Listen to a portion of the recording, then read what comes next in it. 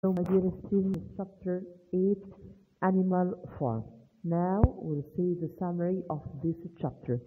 Okay, a few days later, when the terror caused by the execution had died down, Clover recalled that the six commandments for not killing animals that Muriel read, no animal shall kill any other animal without cause. the additional of this without cause. Throughout of the year, the animals worked even harder and harder than they worked in the previous year. That they built a windmill with walls twice as thick as before, and to finish it by the appointment date together with the regular work of the farm was a tremendous leap. That they work hard to to build the windmill with a thick wall. On Sunday morning, Squealer eh, held straps of paper with his trotter would read out to everyone. All orders were now issued through Squealer or one of other bigs. Uh, uh, if there was a declaration or announcement, Squealer and other pigs was the only were the only one who said this.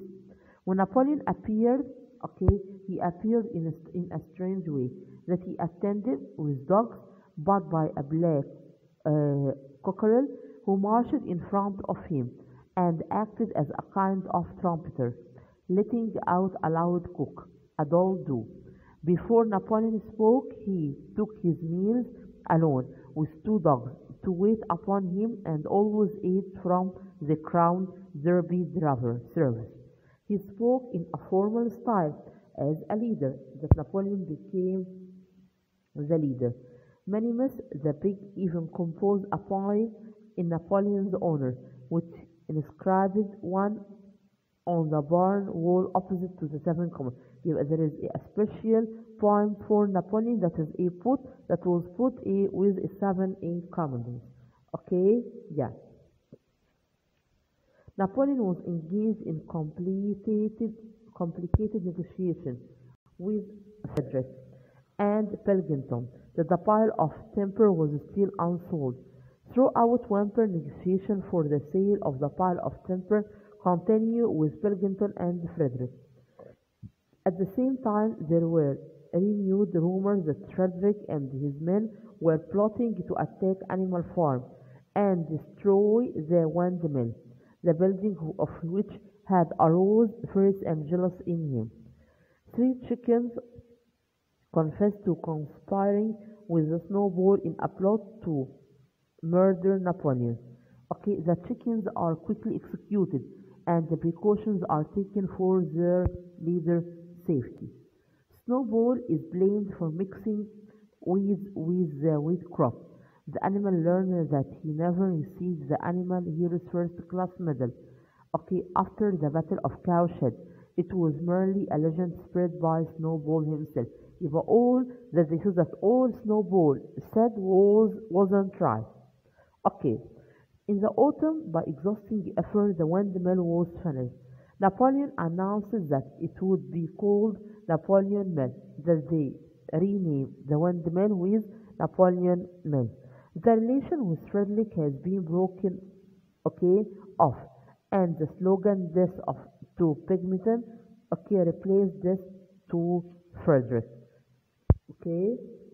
The animals are told that the rumors about an attack by Frederick were false.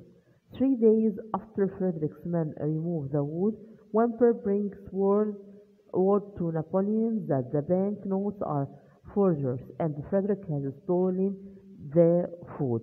That they said that he said that the banknote wasn't it right, or wasn't true. Napoleon called the animals together and in a terrible voice pronounced the death sentence upon Frederick. The next morning the attack came. The next morning Frederick and his men, armed with half of dozen of guns, attacked the farm. Many animals are wounded and they hide in the farm building. Napoleon sent a message to Pilkington begging for help.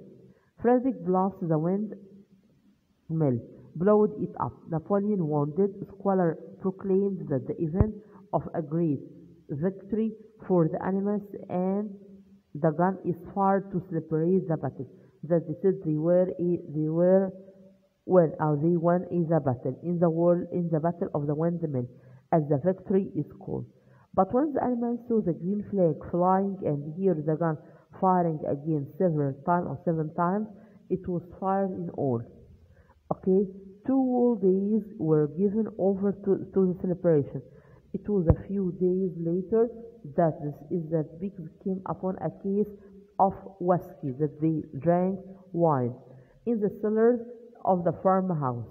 At night there came from the farmhouse the sound of loud singing, in which to everyone's surprise the strains of Beasts of England were mixed up. Napoleon wore an old bowler hat of Mr. Jones and then Napoleon announced that this sentence on anyone who drinks alcohol. At the end of the fifth command, at the end, the fifth command was no animal shall drink alcohol to excess, yani not more. Okay, yes, it is the summary of the chapter 8. Okay, here we will read the chapter.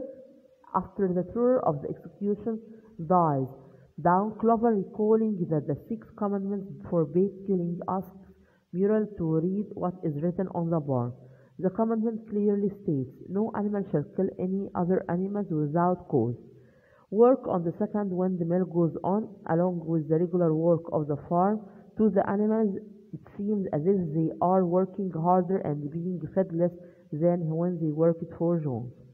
Every Sunday, Squealer reads from a long list of figures that prove how production is increasing, but the animals would prefer fewer figures and more food.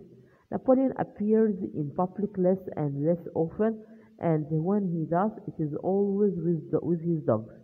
A black cockerel marches in front of him, and cook a, dood- a doodle do doodle do before Napoleon speaks.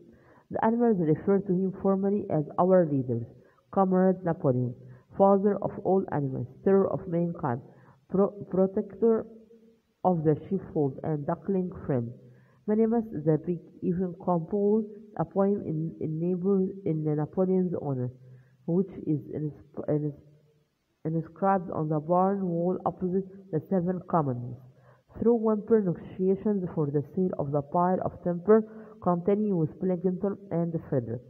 Rumors are news that Snowball is working with Frederick and that they have plans to invade Animal Farm and blow up the windmill. Three Chicken confessed to conspiring with Snowball in a plot to murder Napoleon. The chicken are quickly executed and precautions are taken for the leader's safety. Snowball is blamed for mixing weeds with the wheat crop. The animals learn that he never received uh, the Animal Hero First Class medal after the Battle of, Co- of Cowshed. It was merely a legend spread by Snowball himself. As the relations with Frederick grew worse, a relation with Pilkington became almost friendly.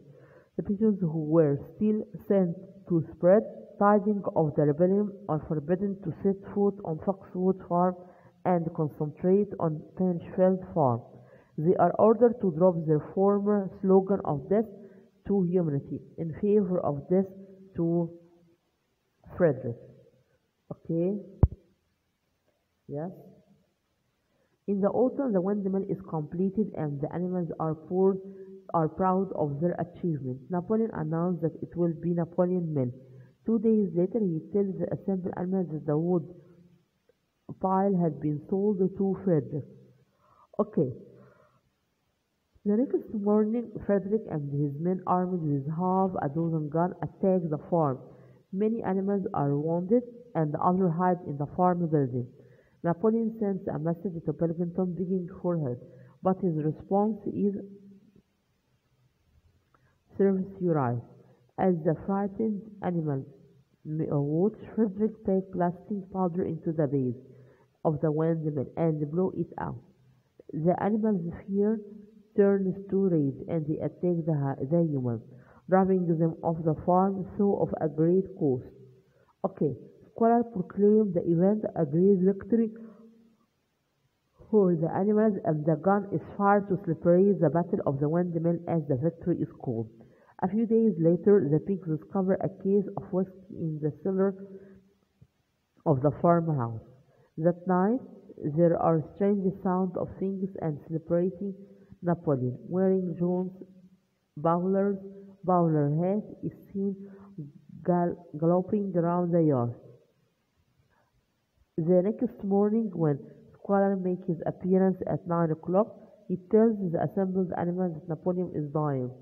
Okay, that Snowball put poison in his food. At eleven o'clock, Napoleon pronounces the death sentence on anyone who drinks alcohol. But in the evening, when he is better, he sends Whymper into town to get books on brewing and disti- distilling alcohol. One night, Squealer is found with, with an overturned paint pot and a paintbrush at the foot of a broken ladder near the wall of the barn. The dogs escort him quickly back into the farmhouse when the animals who regularly remember a commandment about drinking check the bar. The fifth commandment now reads no animal shall drink alcohol to excess. Okay. Now, where is, this, uh, where is the question? How does Squealer distract attention from the changes in the commandment? The word without case. You know, animal kill another animal without case. What is the significance of the cockerel who marches in front of Napoleon? That Napoleon was a leader. How was the victory celebrated? There were songs, speeches, and firing guns. There was a reward of an apple for each animal and three biscuits for every dog. What new life did the pigs acquire? Drinking wine which was against their commandment. What is the animal's reaction when, the squirrel falls from a ladder with a bucket of paint while clarifying an answer of the command? The dog escorted him quickly back to the farmhouse. That's all for our chapter. Thank you and goodbye.